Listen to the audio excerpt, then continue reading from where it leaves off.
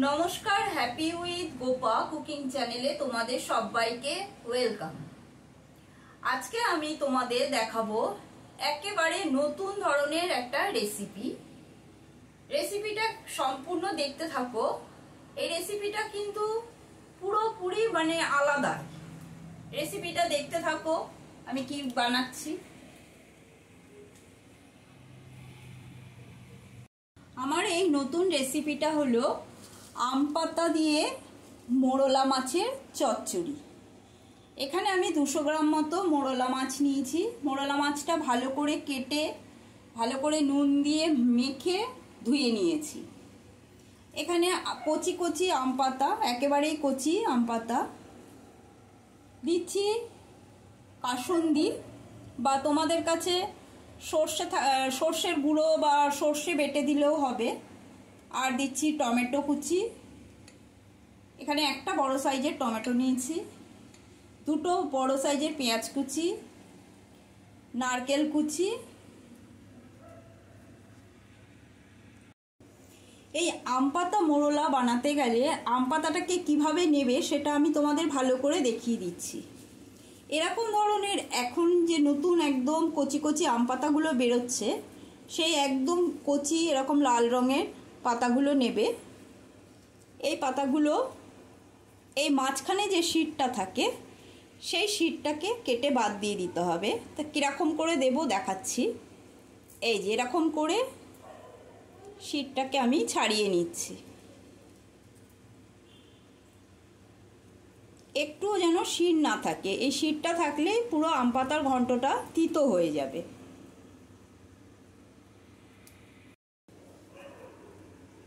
ভালো করে আমি এই যে শিরগুলো ছাড়িয়ে নিয়েছি।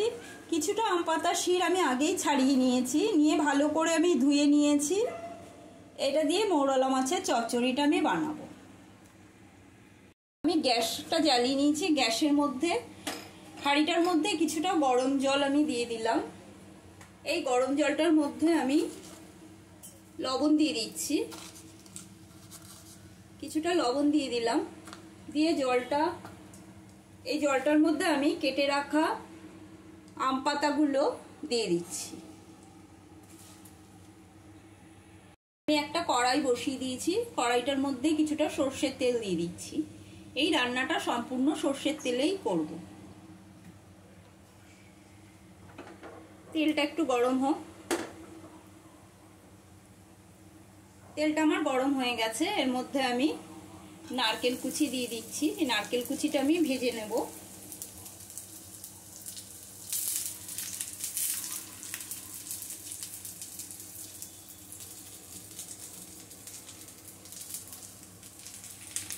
হয়ে গেছে, আমি তুলে নিচ্ছি।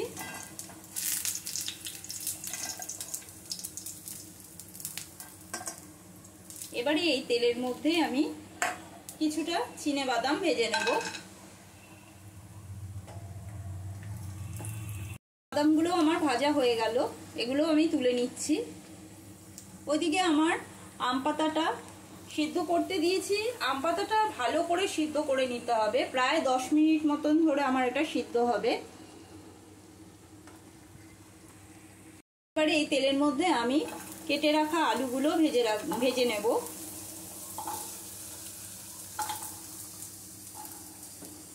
আলু ভাজার মধ্যে দিয়ে দিচ্ছি লবণ।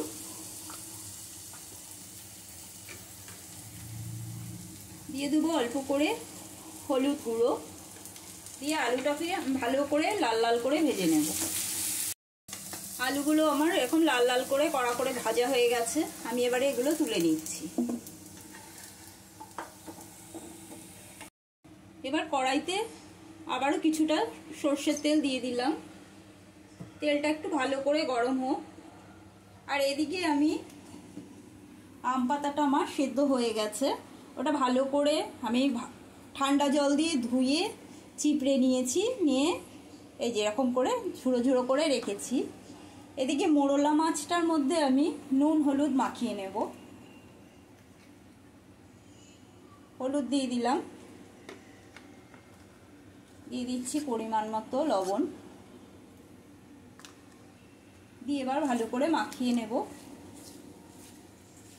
মাখিয়ে নিয়ে মাছটা ভেজে নেব।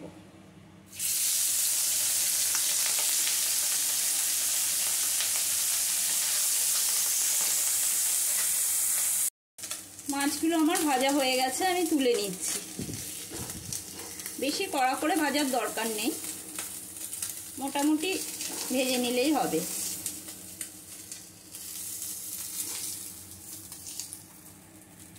কড়াইতে আবারও একটু সর্ষের তেল দিয়ে নিলাম তেলটা আর একটু গরম হোক। তেলটা আমার গরম হয়ে গেছে। আমি এখানে সাদা জিরে ফোড়ন দিচ্ছি। দিয়ে দিচ্ছি দুটো শুকনো লঙ্কা। দিয়ে দিচ্ছি তেজপাতা। আমার ফোড়নটা থেকে খুব সুন্দর গন্ধ বেরিয়েছে। এবারে এর মধ্যে আমি পেঁয়াজ দিয়ে দিচ্ছি। কেটে রাখা দুটো পেঁয়াজ।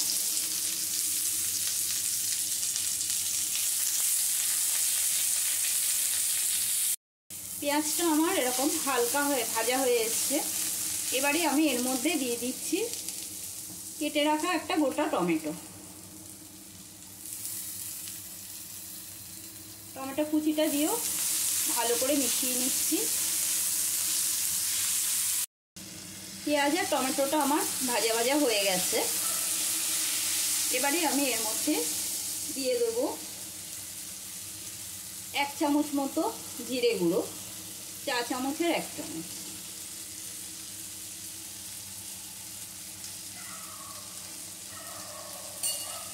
দিয়ে দিচ্ছি কাঁচা লঙ্কা বাটা, এক চামচ।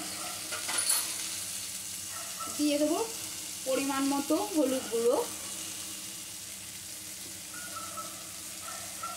আর দিয়ে দেবো লবণটা। দিয়ে সামান্য জল দেবো। জল দিয়ে মশলাটা একটু কষিয়ে নেব।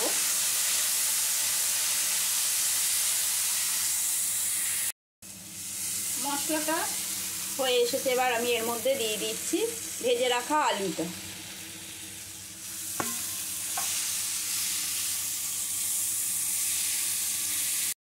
এবারে এর মধ্যে আমি দিয়ে দিচ্ছি সেদ্ধ করে জল ঝরিয়ে নেওয়া আম পাতা কুচোগুলো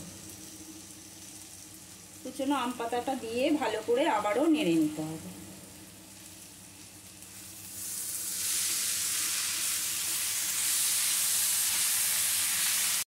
এবারে ভেজে রাখা চিনে বাদামগুলো দিয়ে দিলাম। দিয়ে দিচ্ছি নারকেল কুচিটাও। দিয়ে ভালো করে আমি এটা কষিয়ে নেব আমি আম পাতাটা যেভাবে রান্না করছি রেসিপিটা আমার ভালো করে তোমরা ফলো করবে। এইভাবে যদি করো, তাহলে আম পাতা কিন্তু আর তিতো লাগবে না। ভালো করে শীতটা ফেলে নিয়ে করলে খুব টেস্ট হবে। এই আম পাতার আম পাতা মোড়লার চচ্চড়িটা খুব টেস্টফুল হবে। আমার চ্যানেলে যারা নতুন বন্ধু, তারা আমার চ্যানেলটা সাবস্ক্রাইব করে নিও। পাশে থাকা বেল আইকনটা প্রেস করে দেবে। যাতে আমার রান্নার নতুন নতুন নোটিফিকেশানগুলো তোমাদের কাছে পৌঁছে যায়। আমার কষানোটা হয়ে গেছে, এবারে আমি এর মধ্যে জল দিয়ে দেবো। অল্প করে জল দিয়ে দিলাম। দিয়ে এবারে ঢাকা দিয়ে দেবো। দশ মিনিটের জন্য আমি এটা ঢেকে দেব। ঢাকাটা এবার খুলে নিচ্ছি। এর মধ্যে এবারে অ্যাড করছি। অল্প চিনি অ্যাড করছি। সব কিছু ব্যালেন্স হবে। ঝাল, নুন ব্যালেন্স হওয়ার জন্য আমি চিনিটা অ্যাড করলাম। এটা অপশনাল তোমরা চাইলে দিতেও পারো, নাও পারো। এবারে এর মধ্যে আমি মাছগুলো দিয়ে দেব। ভেজে রাখা মোরলা মাছগুলো ওপর দিয়ে দিয়ে দিচ্ছি।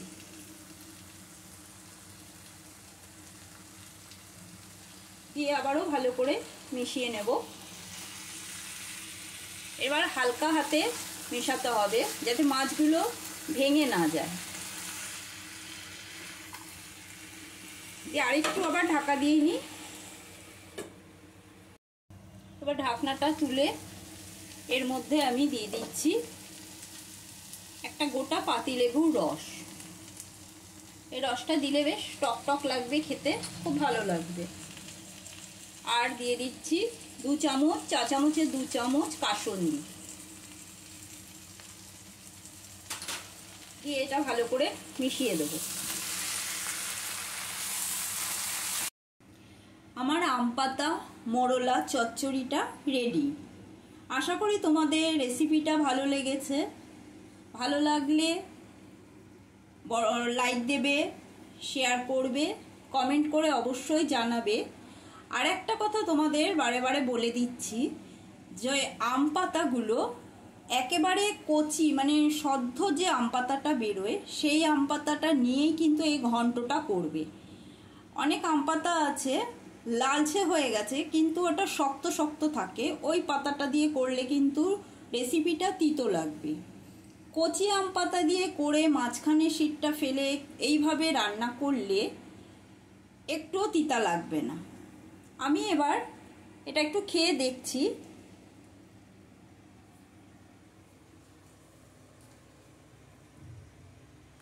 খুব ভালো হয়েছে খেতে।